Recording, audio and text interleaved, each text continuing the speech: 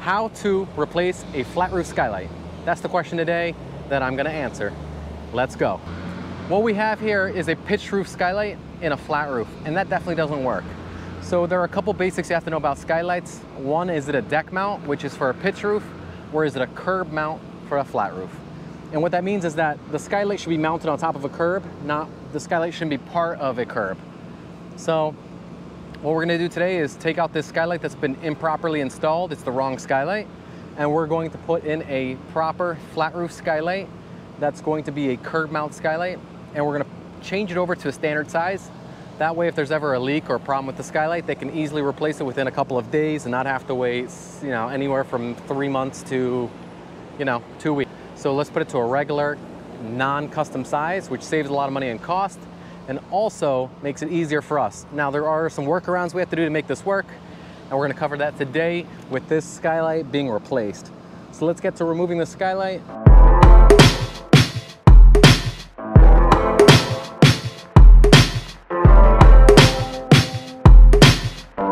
All right, now that the skylight's been ripped out, we can start taking measurements to cut a two by 10 into a curb. So let's do that now. I'm leaving a quarter inch on each side of the skylight so the skylight could fit on easy. And also we can put our roofing material up against the skylight and waterproof it. So that's what I'm gonna cut now. I'm gonna cut 26 by 50. That's our 50. Now we screw them together and you can just use regular, uh, these are GRK 3 and 8 inch screws for framing. And they're number, I think they're number 10s, they're number 10s. So what I'm gonna do now is build the rest of this box by screwing it together. And I'm gonna show you a little trick how to get the water to run off the skylight. Okay, next thing we're gonna do is put the skylight on top of the, the, the box that we've built and see if it fits. That way we know if we do any kind of other kind of adjustments, it'll still fit. Now that we verified that it actually fits, let's take the skylight back off again, turn the curb onto its side, and cut it again. And what I'm gonna do is, uh, you know what, it's better if you guys just see what I'm doing so when I explain it, you guys can have an idea what's actually going on. So anyways, let me take off the skylight. As you can see, that's what a curb mount skylight is. Basically just like a hat. Just like that. Now here comes the hard cut because it's tall I'm short. Just like that. Again with the track.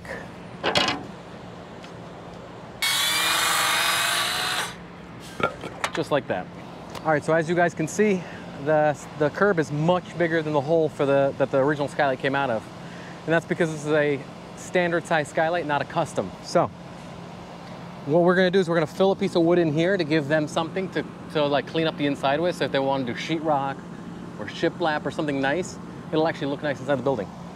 So let's cut pieces for the inside and then we'll secure down the skylight and we'll roof it in.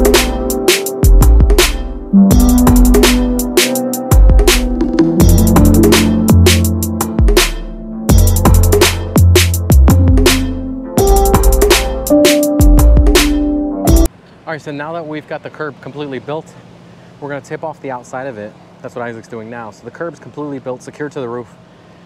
And now after that, we're going to waterproof it and we're gonna use a special product, uh, since this is a uh, modified bitumen roof, we're gonna use a special product called, it's a PMMA, so a polymethyl methacrylate. And we're gonna start using the primer. We're using a, we're using a Siplast product here. And we're gonna use the Pro Primer W resin.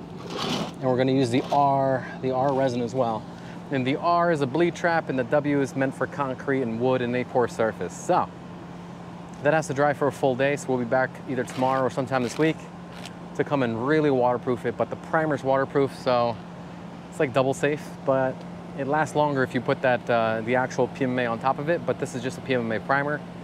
And I'm gonna use a little bit of fleece where the corner meets the skylight. Right there, I'm gonna use a little bit of primer and some fleece so that it, uh, we close up all the gaps and it looks a lot better too. So that's the plan. Let's do it.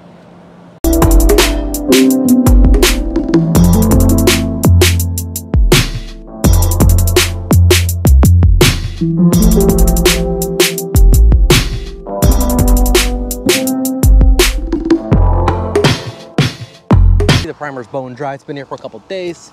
Next thing we're gonna do is cut all our fleeces. So where we have all our fleeces laid out and ready to go.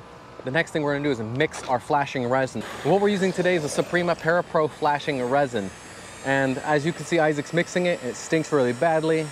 It's a horrendous smell, and we're gonna catalyze it with the organic uh, catalyst, the Pro Catalyst. And so he's just mixing it up. He has to mix it for at least three minutes, and then we can mix a batch. And we're gonna start from the bottom and we'll work our way to the top. So we're gonna do the bottom first, then we're gonna do the sides, and then we're gonna do the top to make sure it's all waterproof and shingled the correct direction. So here's what we're gonna do next. As you can see, it looks pretty good. Let's get to the resin part of it. This is where I have a hard time talking because I'll be wearing a respirator.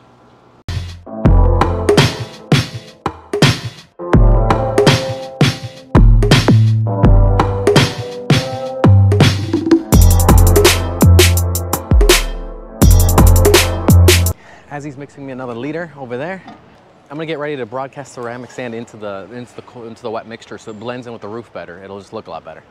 But as you can see, we've already got it mostly applied. The next thing we're gonna do is do the, do the head flashing, do a couple quarter patches, and then we're going to apply the sand, and that's gonna make it blend in real nice, and then the skylight is done. The reason I like these liquid applied membranes is because they're bulletproof. Once they go in and the chemicals react, you have to work very quick and you have to be very accurate and it lasts a lot longer than a regular roof. So whenever there's like a flashing detail or penetration and you have a modified bitumen roof, it's easier to use a chemical to do the transitions than to use some kind of asphalt because the asphalt will fall apart, especially in the corners. So that's why I'm using this liquid applied membrane. And that's how I suggest most of the flashings get done on a modified bitumen roof unless otherwise specified.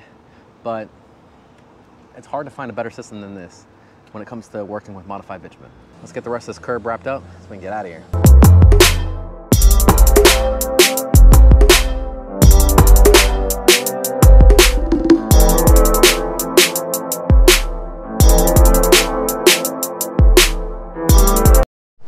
All right, that's the entire skylight waterproofed.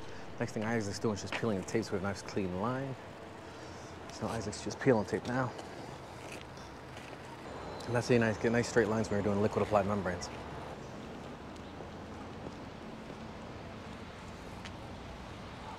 And that's how you replace a curb and a skylight on a modified bitumen roof.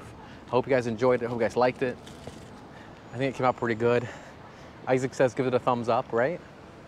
Yeah. He doesn't care. Looks nice and clean.